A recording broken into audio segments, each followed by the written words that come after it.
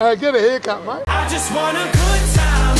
I You know who I am? Think so. What gave it away? Magpie. Oh, right. Can you do magpie calls? Oh, God. Pretty damn good.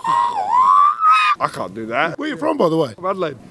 All right. Where are we? Adelaide, you Oh, here we are. What's on your helmet there? You're a truck driver, right? Yeah, family business. Oh, business. Niskies. Yeah. Uh, you got a copy in the Vatican Mac?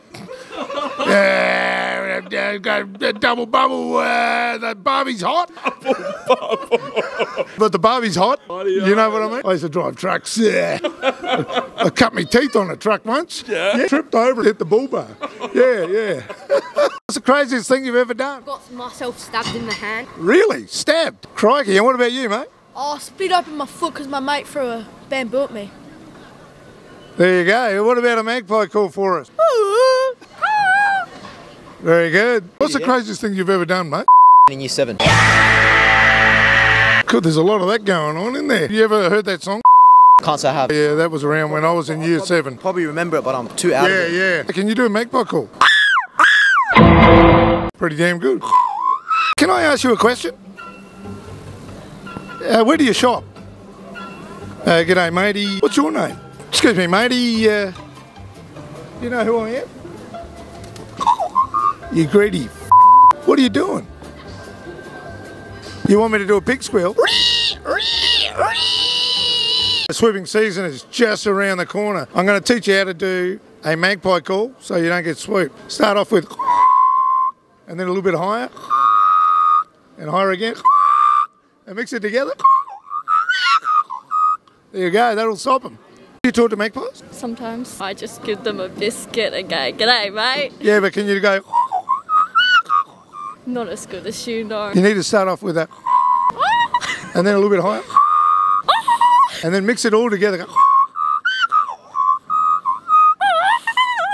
How's that? Do you know who I am? No, You don't? Oh, okay. The Magpie Man. You ever heard of me? no. Have a listen to this. I love it. Yeah. It's